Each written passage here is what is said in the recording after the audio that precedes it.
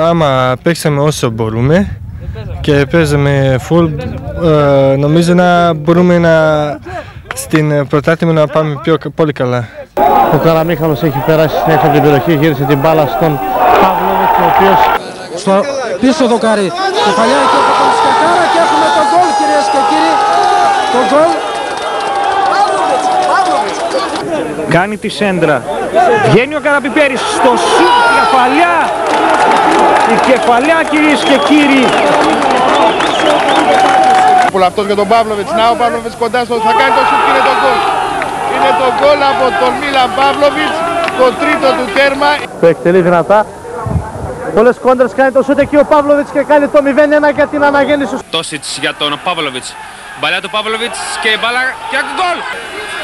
Παύλοβιτς, Παύλοβιτς κάνει και το σουτ και γκολ. Είναι το 2-0 για την ανακαίνιση. Σκούτας αποφεύγει έναν αντίπαλο. Στρώνει στον Παύλοβιτς. Το σουτ από τον Παύλοβιτς και είναι το γκολ. στην εκτέλεση του φάουλ. Παύλοβιτς κατευθείαν και είναι το 1-0. Αγγέλης με τον Μανολάκο μπροστά του, θα βγάλει τη σέντρα, Παύλοβιτς η κεφαλιά και είναι το γκολ. Εκτελεί ο Σέρβος και είναι το 2-0 για την αναγέννηση. στο Βασίλη Σκούτα. Το γύρισμα του Σκούτα και η μπάλα την τελευταία στιγμή διώχνει ο τερματοφύλακας Παύλοβιτς εκεί και σούτ και γκολ. Παύλοβιτς έχει χώρο για το σουτ. Περνά ο Σέρβος. Θα κάνει το σουτ και η μπάλα στα δίχτυα. Ο Μπαντάς επαναφέρει η μπαλιά μέσα στην περιοχή και γκολ.